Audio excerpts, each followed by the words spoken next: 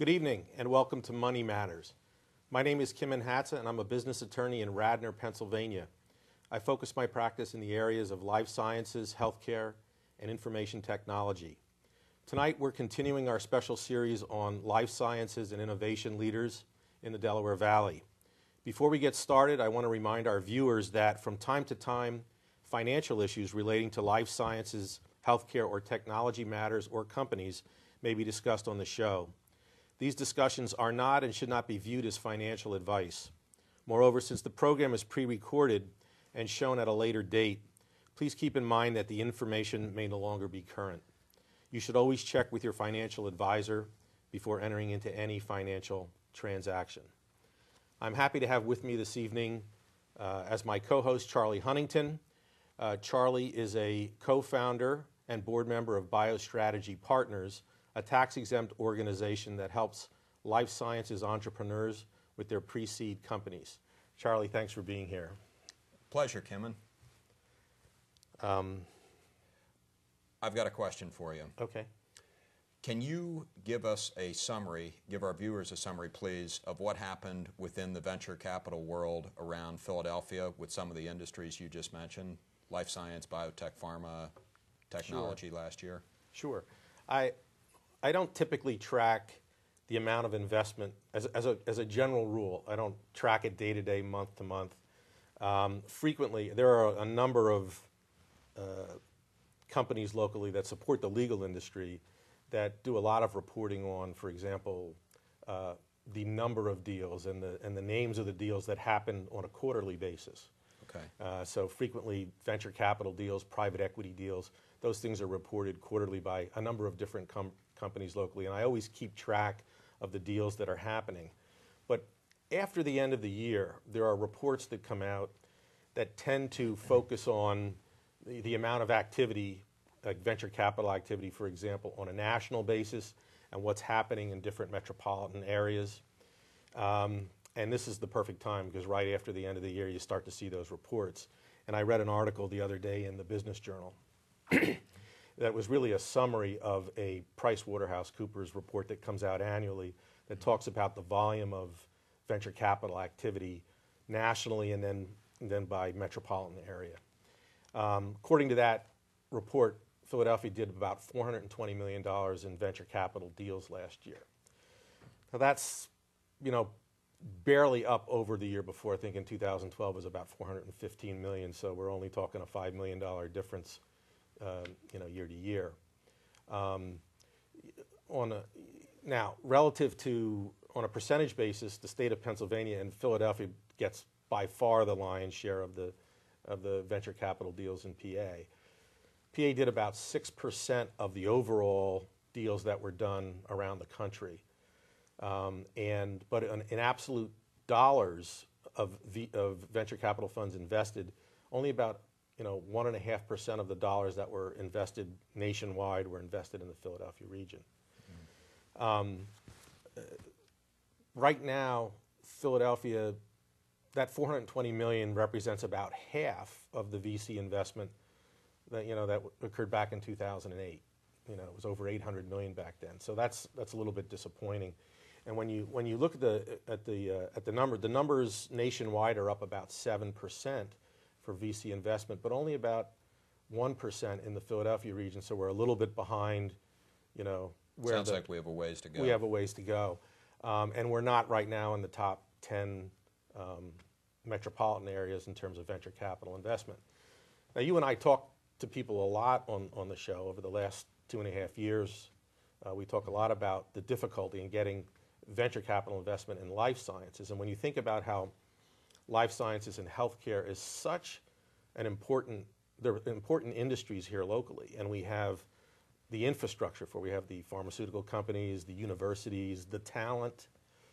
I wonder, even though this was, this is just me speculating without having, you know, detail in the, in the uh, report, but I wonder whether the fact that venture capital firms are not as enamored with the life sciences industry as they used to be because of the long time from you know the, the idea until the ultimate commercialization and the regulatory overlay and that it's a lot easier maybe to invest in an IT company where they can invest their money and get it out, you know, three years later.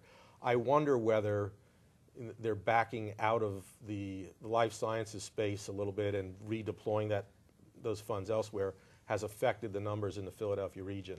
I mean, I, as I said, there was nothing specifically in, in that article to say that, but I speculate that that's a possibility. I bet you're correct. Yeah, at least in part. But you know, I'll keep an eye on it, and obviously, if uh, you know, if I get more information around that, I'll report it in a future show. That's great. Um, before we uh, introduce our guests, I do want to remind our viewers that if you have a question for Charlie and me to answer in a future show, please feel free to send that question to Money Matters TV, 205 East Levering Mill Road in Bala Cynwyd, Pennsylvania, or alternatively, email that question to moneymatterstv at gmail.com. It's now with great pleasure that I introduce our special guest for this evening, Steve Nappi. Steve is Temple University's Associate Vice Provost of Technology Commercialization and Business Development. He has more than 12 years of experience in the technology transfer business. Prior to joining Temple, he advanced through all levels of technology transfer at Florida Atlantic University, including first as being a licensing associate and then an assistant director, and ultimately, he was the interim assistant vice president for research and director of technology transfer.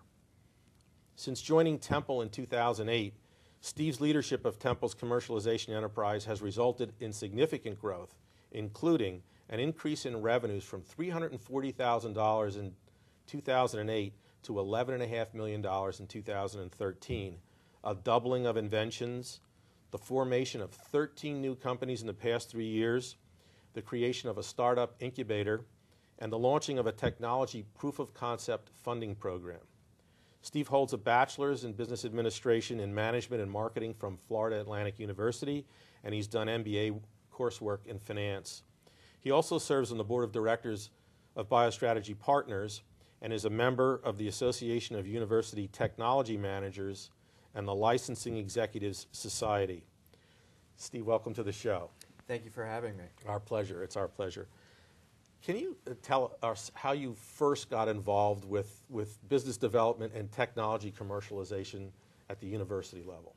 So it, it certainly wasn't a, a conventional path into the tech transfer business. Um, I was a business student at Florida Atlantic University, and um, I was urged by my family, my brother, and others to, to go for an internship uh, before you get out of business school. And it just so happened that the uh, university was starting a technology transfer office. So uh, I was fortunate to land the internship there, um, not really understanding exactly the, the business of technology transfer. Uh, but we started from, from scratch. Uh, the, the person that started that office was a veteran tech transfer director um, who uh, was able to lift the office from boxes of inventions that we had to pour through.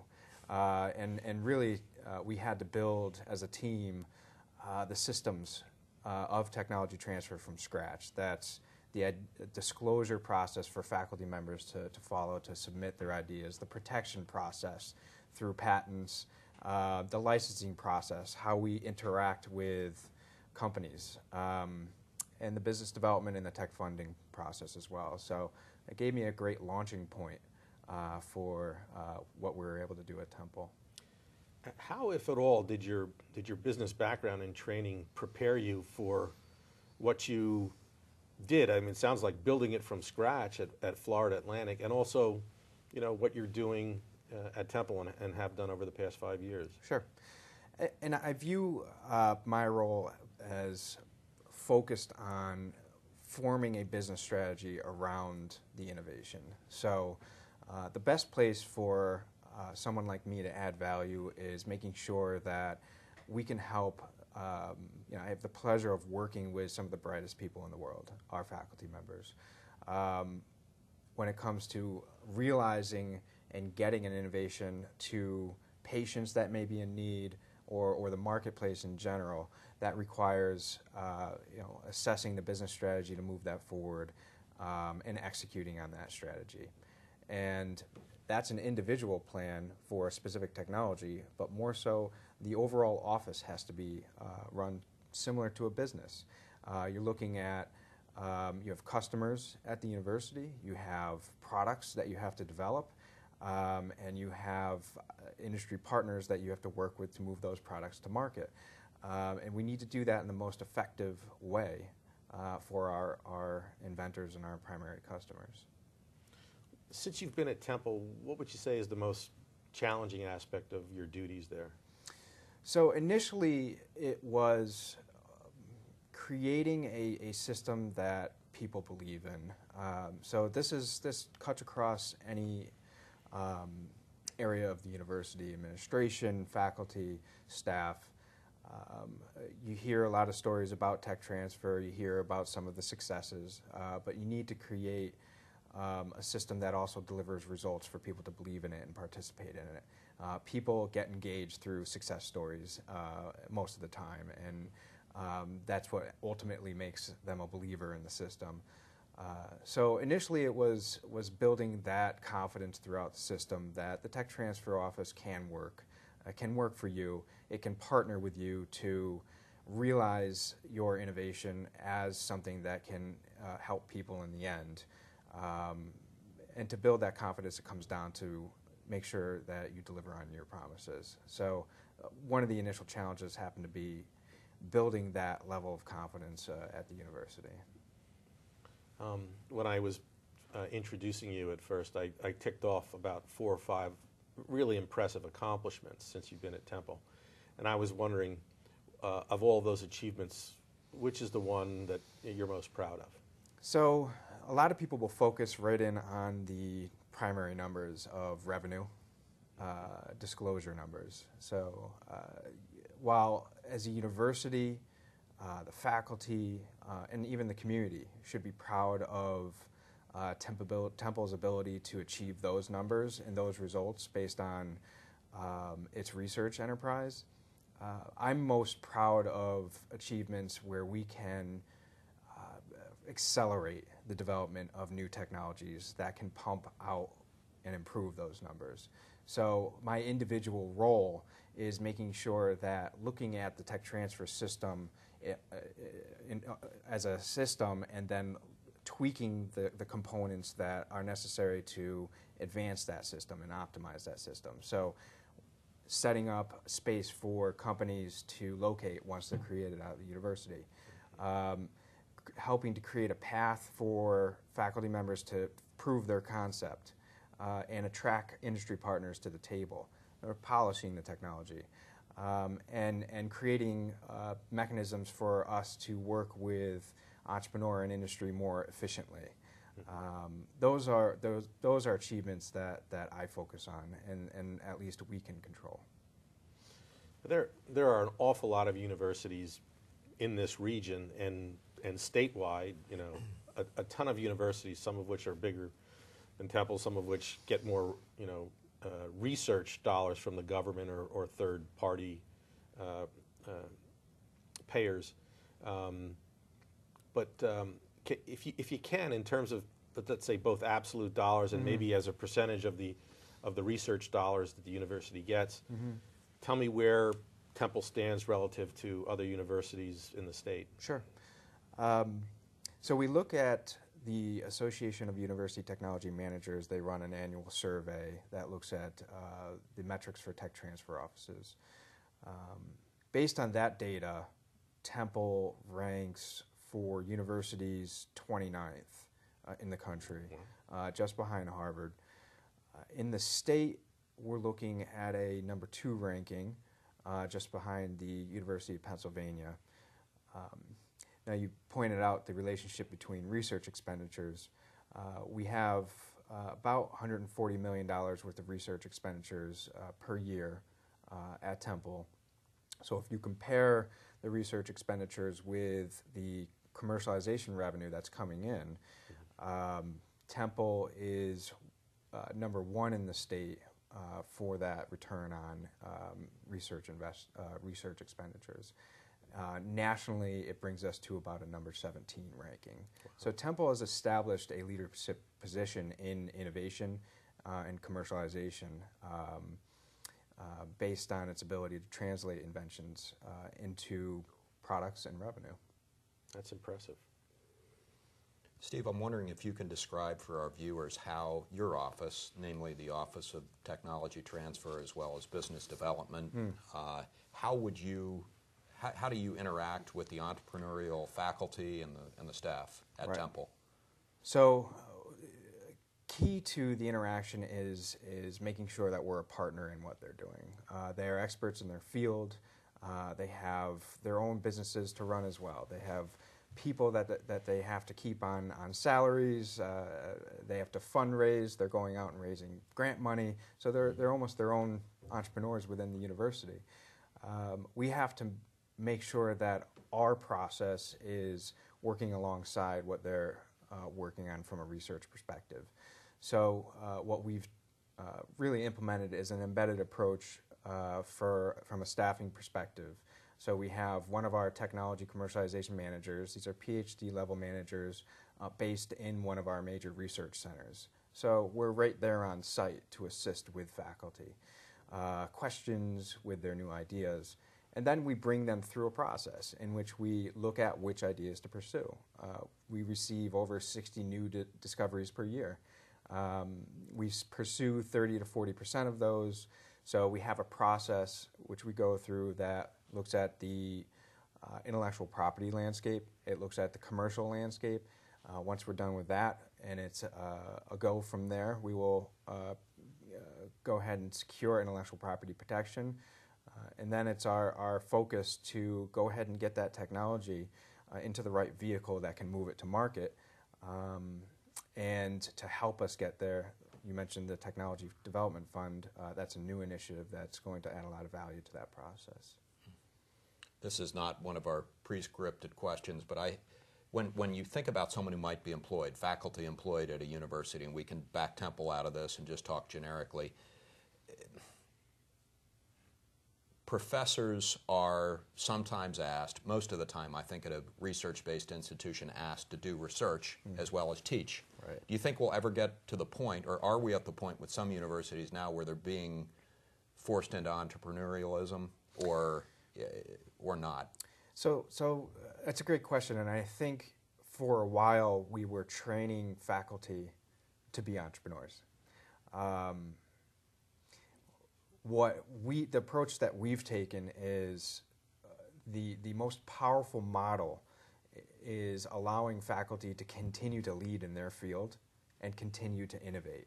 And if you put faculty in the position of running their business while they're trying to do that and run their own business of uh, keeping their lab alive, uh, something's going to suffer. So our approach has been um, well, they can be entrepreneurial, certainly. Uh, as far as leading a company, we want somebody at the leadership position driving that company that's had experience doing so. Um, that presents a challenge, right? We tell we tell faculty that um, that's the structure we prefer, but then we have to find somebody to to actually drive that vehicle.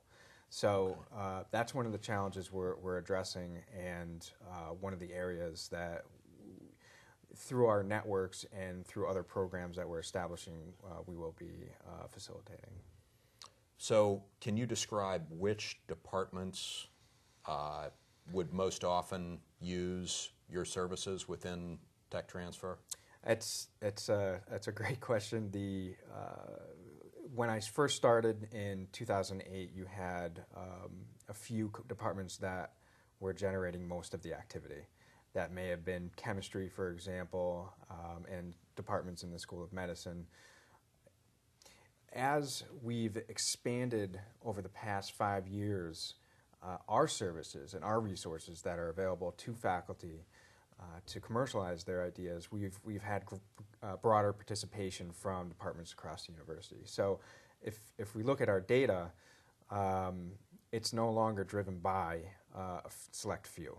Uh, Now we have a very diverse pipeline of intellectual property coming into the office that extends through the law school, um, you, in School of Business, Engineering, Pharmacy is is coming online strong. Um, uh, dentistry, the School of Dentistry was one of the schools that was able to get the first product to market out of Temple. It was a dental device. Wow. Um, so we're seeing that that diverse pipeline of intellectual property right now, and it's it's really exciting. It is. So when you look at those uh, departments within the university which bring which bring you technology or, or develop technology, can you put your your finger in, on any characteristics that might help them in terms of getting to commercialization more so than other departments maybe? I, I can tell you that we've had examples of uh, misunderstandings that um, maybe will discourage a department from engaging in the process. So, uh, for example, um, publication is key to disseminate research findings. Um, in some cases, there, and this is our challenge of building better awareness and training programs. Um, in some cases, uh, faculty may think that it's one or the other. It's either you publish or patent. Um, so there's when we inform and build awareness that listen, it's it's as long as you file your patent application before you publish your research, you can enjoy both.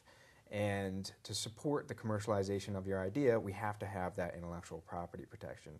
So for those departments that uh, we've worked closely with on establishing um, that awareness about the process um, become repeat um, customers back into the office. And it's something that over the past three years, we've started to join department level meetings uh, to make sure that our process is understood. And, and it's, it's clearly our responsibility to get that communication out. And the better we can do that, the, the more we're going to see engagement even increase across the university. So, the businesses which have been successfully launched or in the process of being successfully launched, how do you find that the uh, the academics who have gotten, you know, the, the professors and the scientists who've gotten it that far, are they staying engaged, and how do you keep them engaged? Uh, I think absolutely the answer is um, you know, the faculty member that develops the invention has such a high level of passion for seeing that get to benefit the public. So they do stay engaged, and we want them to be engaged throughout the process.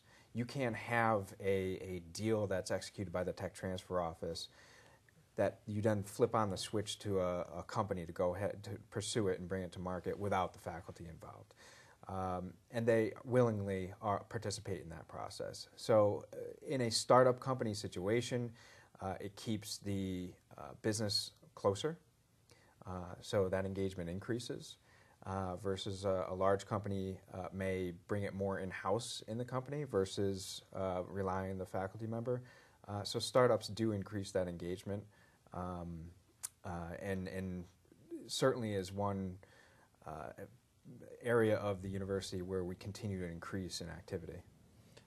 I remember, I mean, you bring up an interesting point, and that point is, um, you know, eh, most scientists are going to be in love with whatever they're studying, right, and whatever they're trying to develop. And we at Biostrategy Partners Right. have happened upon some entrepreneurs where we say, you know what, you're focused on the, the garnish on the plate, not the meat and potatoes. That's right. And you're leaving something at the doorstep of big pharma, which could be very profitable, but that's not their passion. Right. So I know exactly what you're what you're talking about. Hopefully, the passion and the profit motives line up, but not always. And so. and the biostrategy partners example is, uh, you know, and this is why it's important that uh, we have the opportunity to, to serve on that board. Um, that the pharma program that is run by biostrategy partners puts our faculty, our researchers, in the same room with the pharma uh, researchers, and I have to tell you the the experience uh, and and the opportunity to watch that interaction is just amazing and exciting. Um, and it, it, it breaks down that barrier that we've we've often had, which is, uh, you know, what what are the industry expectations for a particular in- innovation? All right, so if it's a strict funding arrangement to, between the university and pharma, are there is there the ability to mentor that project to a, a commercially attractive stage? So BioStrategy Partners has been able to put uh, stand up a program that allows that close interaction throughout the project, so that when we get to um, a decision point, we can we can make a decision that would be of most interest to uh, our partner in that case uh, to invest in further uh, research and development. And BioStrategy Partners is a group that's gone across different universities and different companies, and you know, I would think that uh, it's, I would think that let's face it, it's tough to hear difficult news, but if it's brought by an independent source like a BioStrategy, I think that softens a blow. So. And, and we talked a, a little bit about engagement with resource, uh, uh, uh, researchers, um, and, and you do have to give difficult news. I, I said earlier that we only pursue 30 to 40 percent of the inventions, right? So six, six uh, out of the 10 uh, we cannot immediately pursue.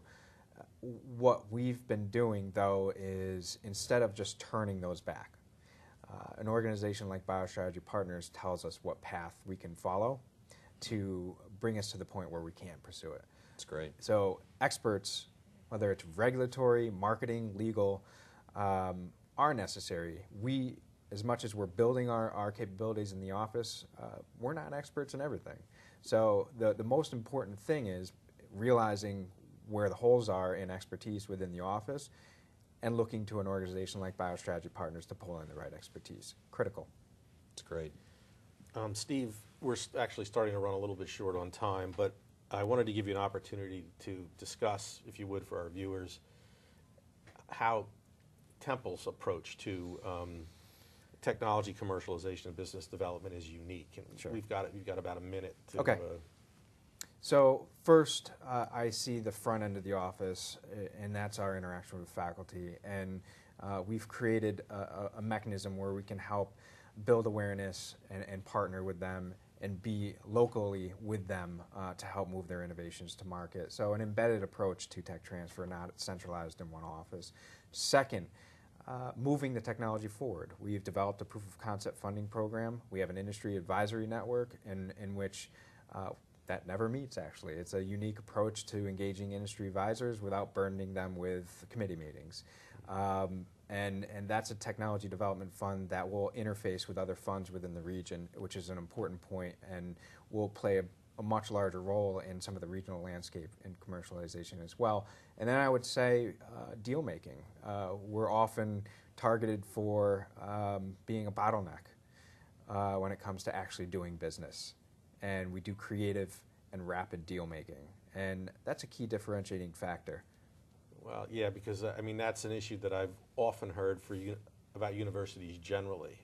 You know, and, and then there are a lot of uh, organizations that I look at look at some of the things that are being some of the innovations being developed at universities, and they see they never seem to give birth. You know, Right. and so that kind of a that kind of a uh, you know. Uh, a development, a unique approach is really is really very important. I would say. We need to enable commercialization, not, in, not stand in its way. That's right.